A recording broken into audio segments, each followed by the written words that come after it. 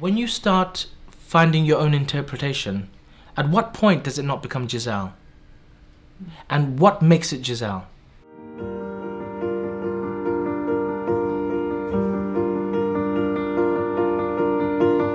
I am a true believer that for any art to continue to be relevant, the works have to be revisited, reinterpreted, re edited. This is why I want to continue to look at the classical repertoire and reinterpret it, reinvigorate it, and give chances to the artists of today to look at it and, you know, break it apart and put it together in a most wonderful, surprising way.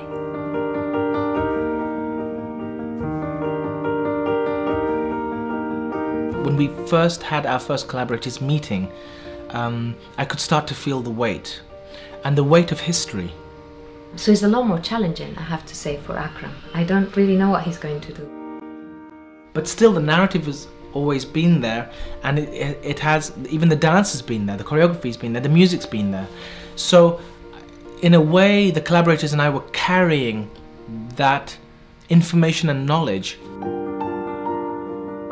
you see a forest and then you have to somehow find your path through the forest and not the pathway that's been given to you, that's been kind of pounded down by the many choreographers and composers that have walked through that pathway. You have to find your own pathway but still within the same forest.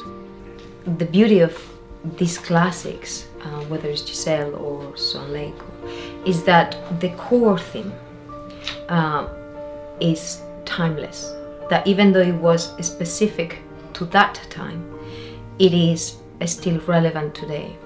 That is also important for the narrative or the essence of Giselle or any classic to, to stay important and relevant to the next generation. It has to adapt, it has to evolve. Um, if it does not, it will only be something that you look in uh, to a museum.